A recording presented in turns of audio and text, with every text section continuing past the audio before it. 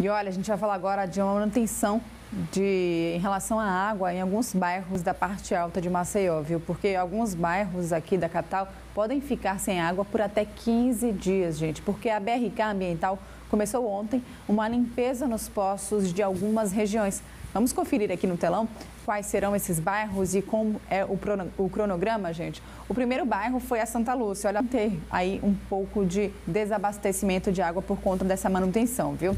Benedito, essenciais para uso vão continuar com abastecimentos através de caminhões, viu? E caminhões-pipas que vão ajudar realmente nesse abastecimento, ajudar na entrega de água, segundo a BRK Ambiental. A população também pode solicitar esse abastecimento com a BRK através do telefone. Anote aí 0800 771 0001.